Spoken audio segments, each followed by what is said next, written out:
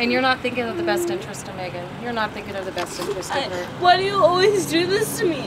Like I haven't done anything wrong to you. Neither- you're I always haven't- hurting me. Christy, you're going about this all wrong. No, you are. I asked you to try a date visit. We and you don't want to do it. You don't You're Because we care have a court order. about if I'm unnecessary. comfortable or not. You don't care about my feelings. Obviously, you always do this to me.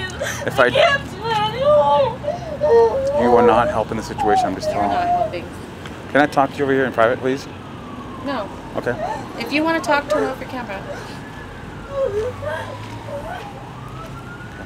I'm just telling you that I'm not talking to you until you turn off your camera. okay. I don't mind talking to you at all, but I'm not going to be.